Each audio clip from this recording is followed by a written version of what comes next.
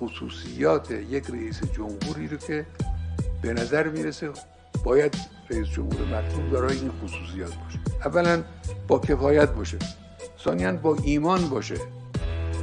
اگر بی ایمان بود نمیشه بهش اعتماد کرد. بعد ادالت خواه باشه. ضد فساد باشه.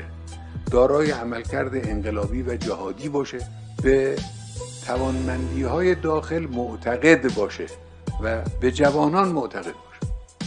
جوانها رو قبول داشت.